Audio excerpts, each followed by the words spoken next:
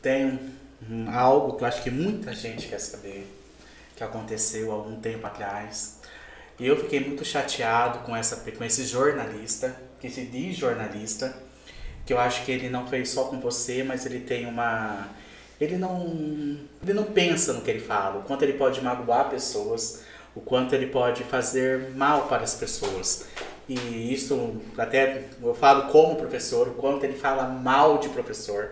Ele fala muito mal de professor, ele fala abertamente assim. Para mim, olha, uma pessoa que se diz estudada, entendeu? Devia pensar no que faz.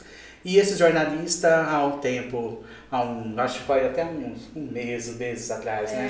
Então, é, ele fez uma fala muito desagradável contra você, né? Uma de, de discriminação mesmo que acho que muita gente ficou chocada, depois ele teve que retratar tudo aquilo que ele disse. Perante, eu acho que isso não, não é mais permitido nos dias de hoje, né? Exato. né? Uma pessoa fazer aquilo, falar aquilo de uma forma tão grotesca, uma forma tão, sabe, tão é, ruim. Ruim, verdade. Isso te fortaleceu? Como que você sentiu? Como fortaleceu para sua luta contra o preconceito, contra o racismo?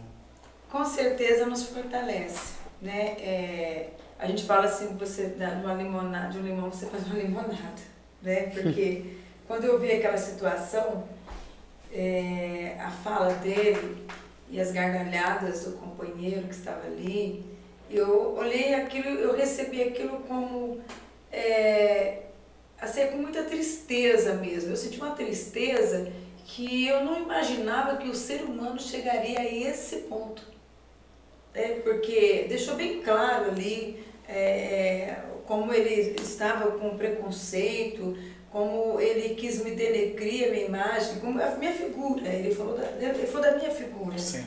Né? Mas, ao mesmo tempo, eu falo que só me fortaleceu porque é uma das causas que sempre eu vou lutar mesmo. No início do, do, do programa aqui, eu falei sobre empatia. Eu falei se colocar no lugar do outro.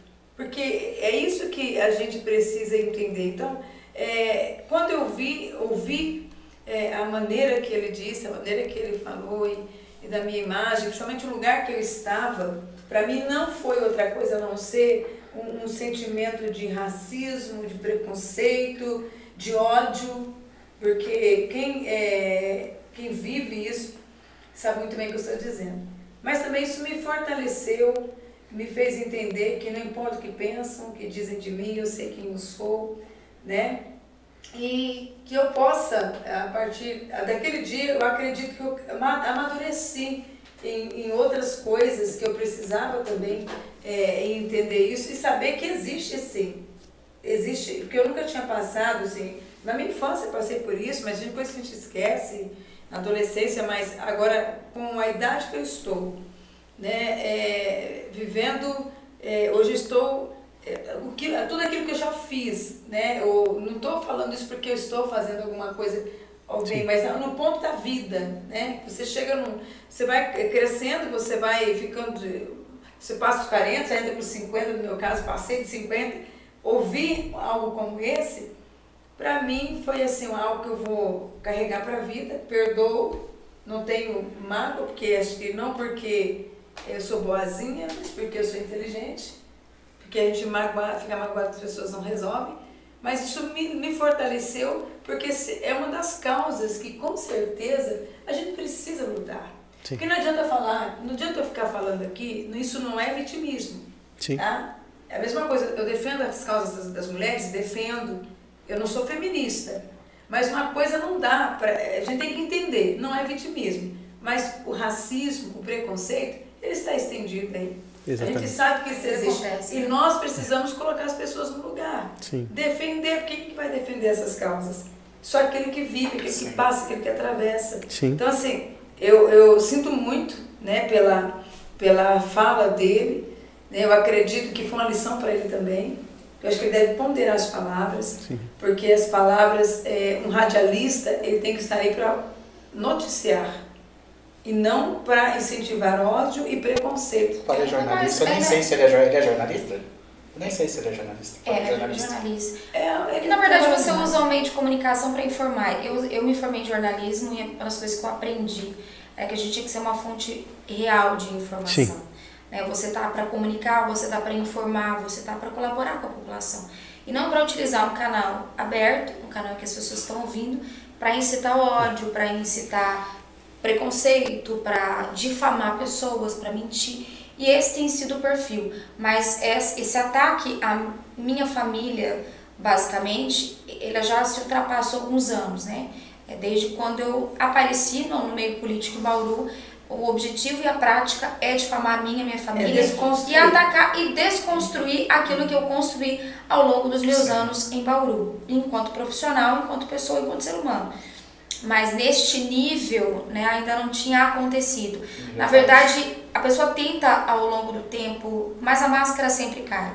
Na verdade, o que ele, de certa forma, externou Exato. é aquilo que ele sempre pensou a Sempre meu sentiu. respeito Sim. e Sempre principalmente da, da minha mãe. Então, assim, foi uma situação é, que eu procurei me silenciar, porque a pauta ali não era política, a pauta ali era de falta de respeito. Né? Era falar assim, É isso. é, se referir uma mulher linda como ela, chamar de carapaça, coisa ruim de se ver, e que o cabelo parecia uma peruca, né? E ainda mais de alguém que fazia propaganda para um hospital que trata mulheres e homens que perderam o cabelo por uma doença. Então é muito sério. Sim. Então quando eu ouço, eu ouvi aquilo e vi, achei belíssima a postura da minha mãe de sentar, gravar um vídeo, dialogar e mostrar para as pessoas o quanto isso feriu ela mas e o quanto tantas outras pessoas que não têm a mesma condição de voz que ela tem é, se calam diante de uma situação como essa. Então eu não preciso é, me vitimizar. Eu Não. preciso, na verdade, colocar pessoas no seu devido lugar. E é, e é o lugar, na minha opinião, que esse jornalista, esse jornalista foi colocado. Então, assim, qualquer perseguição, eu falo assim, pode falar de mim, pode não gostar da minha gestão, Sim. pode reclamar dos buracos que tem há 30 anos em Bauru, que não foram buracos que eu criei, buracos Sim. que há muitos anos existem. Pode falar da cidade, pode não ir para Mas mim, é- como- mas não pode né, trazer Exato. esse tipo de, de informação para o cunho pessoal. E É, sendo pro tão pessoal jamais, né? E, e comunicar com uma coisa, um ser humano com uma coisa ruim, muito ruim de se ver. Então, assim, é, é, é bem complicado isso, porque da onde ele tirou com tanta Sim. certeza, porque ele falou com tanta certeza, né? Eu disse assim, olha, é, simplesmente eu olhei no geral e pensei, eu não posso deixar assim. Nem deve. Tomou as, previden- as Com necessárias, né? Importante. Sim. Sim, porque a gente não pode, é, como aquilo que eu disse no início, fazer vistas grossas e tá tudo bem. Não, não tá tudo bem. Não, Tem, tem coisas que tem que estar no devido lugar. com Exato. certeza. Você mostrou ser um péssimo profissional. Enquanto, enquanto outras pessoas Outras pessoas sofrem isso e ficam caladas, Não deve. porque não tem voz, porque não consegue né, provar o contrário. Quantas pessoas vivem isso? E é, e é um, é um sentimento muito ruim. Isso sim é ruim de se ouvir. É o de se ruim ver. de se sentir. Com certeza, com gosta. certeza. Eu costumo falar que as pessoas nunca devem se calar diante de impunidade, diante da desonestidade, É, mentira, diante de calúnias, mentira. nada. É isso. Tem que se posicionar, porque as pessoas precisam ouvir, precisam saber, tem que falar. Foi importante essa atitude né, que a senhora teve, a Eu atitude da Suane também foi sensacional. Deu muito orgulho pela posição Sim. dela, né, por se posicionar, porque passei por isso, passo todos os dias Sim, diante de desafios por ser mulher na política, por ser uma mulher posicionada que defende pautas Sim. relacionadas às minhas convicções. com E certeza. ver isso, na verdade, acho que inspirou outras mulheres. É, inclusive Porque no mandaram